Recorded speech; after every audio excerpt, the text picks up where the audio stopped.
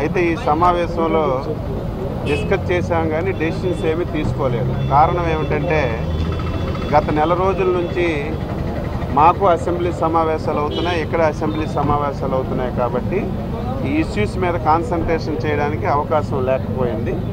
అయితే చాలా విషయాలు చర్చించుకున్నాం.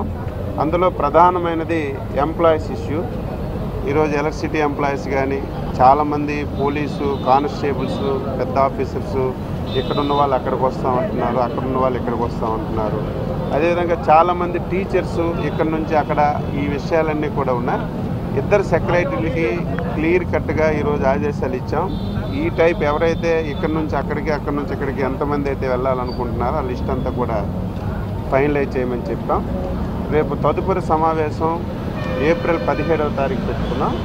అందులో చాలా వరకు పరిష్కారం చూపడానికి రెండు కమిటీలు కూడా అంగీకరించాయి ఈలోగా ముఖ్యమంత్రి గారితో మాట్లాడి ఏదైతే ఇంకా అదనపు సమస్యలు ఉన్నాయో సెక్రటేరియట్ కానీ అసెంబ్లీ కానీ కౌన్సిల్ కానీ ఇవన్నీ కూడా వారు లేవనెత్తారు.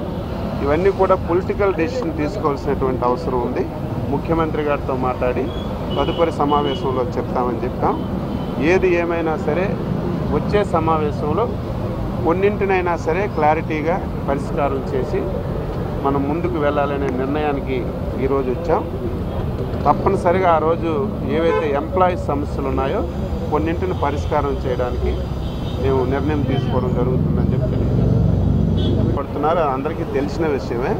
దాన్ని కూడా అవసరమైతే కొంత లాభ నష్టాలు ఉన్నా సరే వాళ్ళకి లాభం మాకు నష్టం ఉన్నా మాకు నష్టం వాళ్ళకి లాభం ఉన్నా సరే ఎక్కడో ఒక దగ్గర దీన్ని ఎండ చేయవలసినటువంటి అవసరం ఉంది కాబట్టి రేపు వచ్చే సమావేశంలో చర్చించి ఎలక్ట్రిసిటీ ఎంప్లాయీస్ ఈరోజు ఉదయం చాలామంది టీచర్స్ వచ్చారు చాలామంది కానిస్టేబుల్స్ వచ్చారు.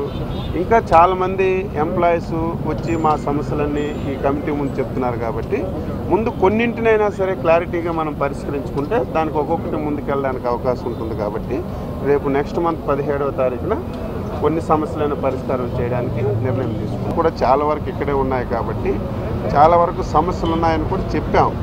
అయినా సరే ఒకసారి ముఖ్యమంత్రి గారితో మాట్లాడి కొన్నింటిని మేము